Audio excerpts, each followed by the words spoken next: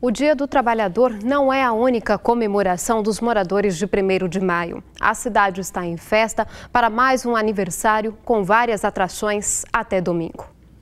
A cidade de pouco mais de 10 mil habitantes está de aniversário. São 63 anos. Está chegando a hora da festa. Por aqui, os trabalhadores fazem os últimos preparativos para uma das festas mais importantes da região norte do estado. A festa do peão boiadeiro que chega à 36ª edição. Tudo precisa estar pronto até a tarde desta quinta-feira, inclusive a limpeza do local.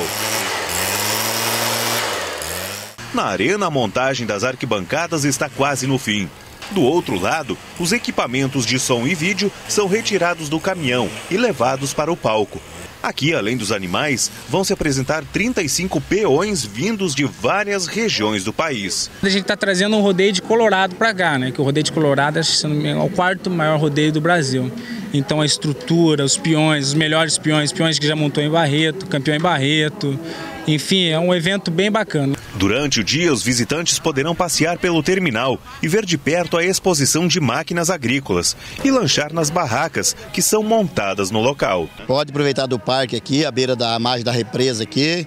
É um, é um, é um turístico aqui, então pode vir que não vai se arrepender, muito bom. De acordo com a organização da festa, devem passar aqui pelo terminal turístico durante os quatro dias de festa cerca de 20 mil pessoas.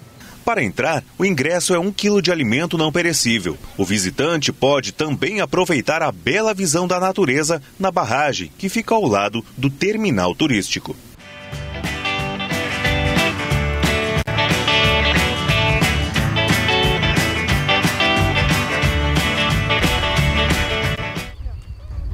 O rodeio começa sempre às nove e meia da noite.